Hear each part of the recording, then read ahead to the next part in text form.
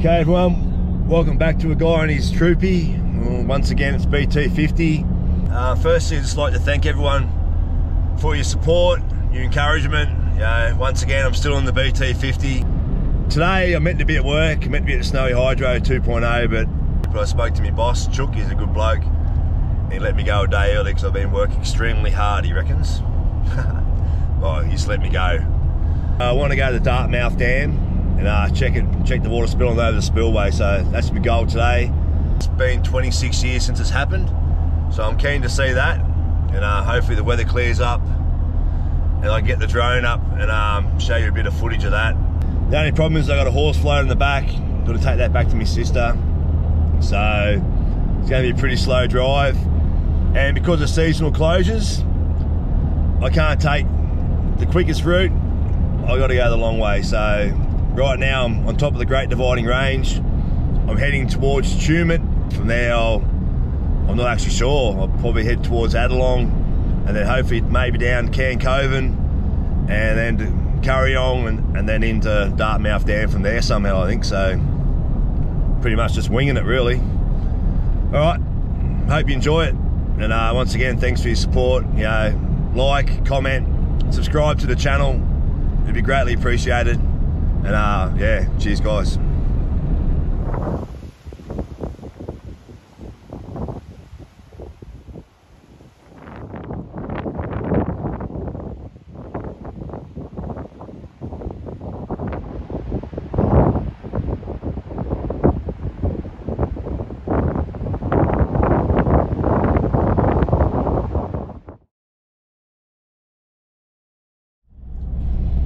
Just coming up on um, Dartmouth Dam, which is overflowing. This, this is a destination I was trying to get to, so we'll see what it looks like, eh?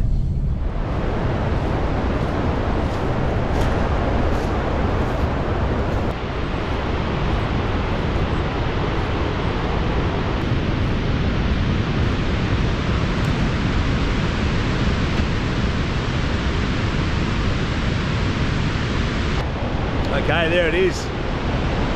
Dartmouth Dam overflowing. First time, 26 years. And apparently it's only the fifth time since they built it. Pretty insane.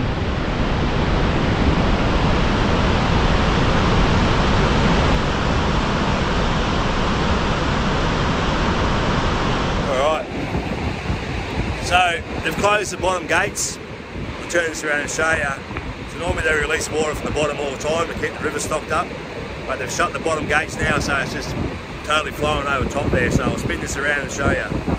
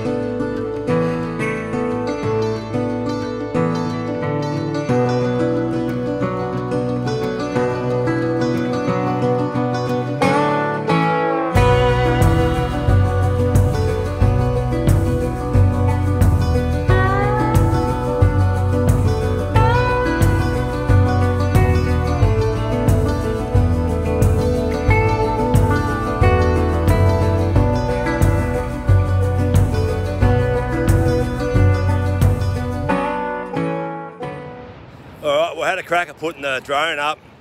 I got that pretty high, like well and truly up above the dam wall, and um, I'm not sure, probably about there somewhere.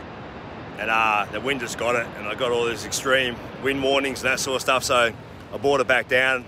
I was hoping to get a lot more footage of the drone, but obviously the conditions won't allow for it. So anyway, I'm gonna head up the top of the the uh, dam wall and have, have a look up there, and then I'll have to start making my way home.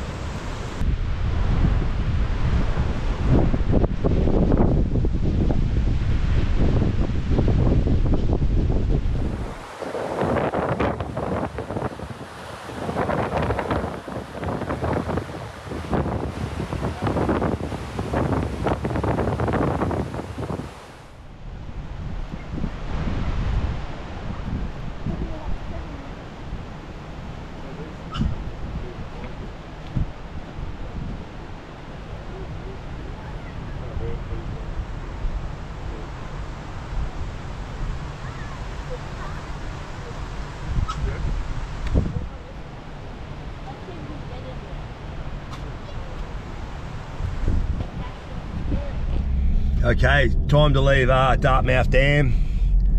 Gotta start heading home. I'm not sure exactly how long it's to take to get home. So far, it's been nearly 10 hours since I left uh, Anglers Reach at the Snowy Hydro project where I'm staying. So, um, it's been a long day. I reckon I probably got four and a half hours, possibly five hours to get home from here. So, yeah, very long day. Um, but it's definitely been worth it. This is a highlight. Yeah, it's I think it's happened five times since it's been built. And the last one before this, I've mentioned it plenty of times, was uh, 26 years ago. So definitely worth getting here.